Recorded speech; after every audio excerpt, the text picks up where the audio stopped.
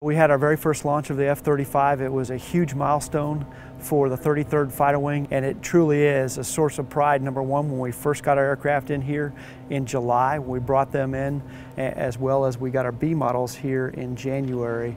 And now this third milestone of actually getting to fly a local sortie really sets the foundation and is the beginning of a new era uh, for air dominance here.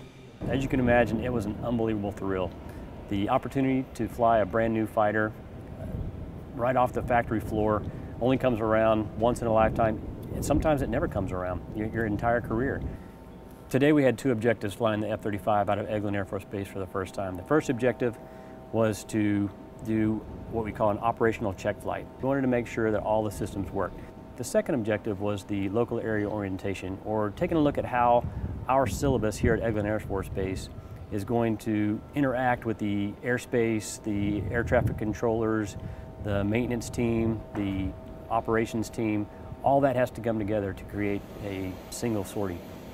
We met the objectives of the local area orientation because we exercised some systems that we hadn't even planned to exercise today. And the operational check flight, we were able to accomplish bits and pieces of that, um, and we'll go out and we'll finish that up on the next sortie. To be in the first F-35 local sortie at Eglin Air Force Base uh, was an honor and a privilege.